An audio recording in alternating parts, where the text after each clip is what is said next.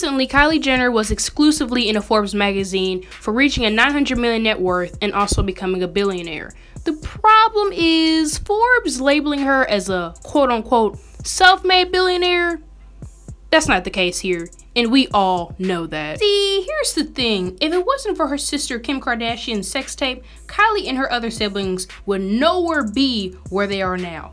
Kylie made her success from Kim, Kim made her success from Kris. Kris made her success for being married to Rob. Rich family? Come on now. It's Kris that runs all this shit. Now, is Kylie a successful businesswoman? Hell yeah. But a self made billionaire? Absolutely not. Self made implies that you came from nothing or very little, marked your way up, paved your way up. Uh, that's not Kylie Jenner at all. No, incorrect, denied. Mm mm, no, no, wrong answer. No, abs- where did that even come from? Look at Oprah Winfrey. That's self made. Look at Jay Z. That's self made. Look at Robert Downey Jr.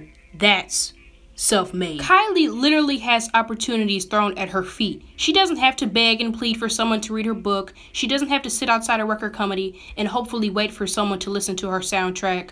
Her entire family has connections and resources for her to thrive on. Now, I can say Kylie has worked hard. She has some talent. She runs her own makeup line, all that great shit. But compared to her other competitors of self-made billionaires, come on now.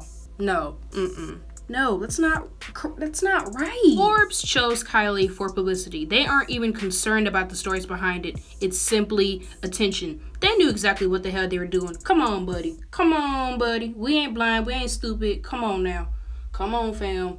We not that slow anymore. Come on. It's not 1846. Come on. We know what's going on in the world. We know what y'all do. We know what we know what happens. We know what y'all do. We know the story behind it. We know why y'all do it. We know that you're behind it. Come on. Come on. Quit playing with me. This ain't Monopoly. This ain't Twister. This ain't Candy Crush. You ain't playing no games with me. I know what Forbes is doing. If it wasn't for her last name being Jenner and people knowing who the hell she was, her career would cease to exist. But in the end, I'm happy for her. I'm proud of her. She saw an opening and she took it. The hate about it, simply unnecessary. I can see why people are angry that they're calling her a self-made billionaire. I can, because I completely agree. Calling her a self self-made billionaire is um not cute, but I'm happy for her. That's all I could say. So that's it. I mean, that's all I gotta say about that. I'll leave it that. I ain't got nothing much, much else to say. So Thank you for watching. All right, bye.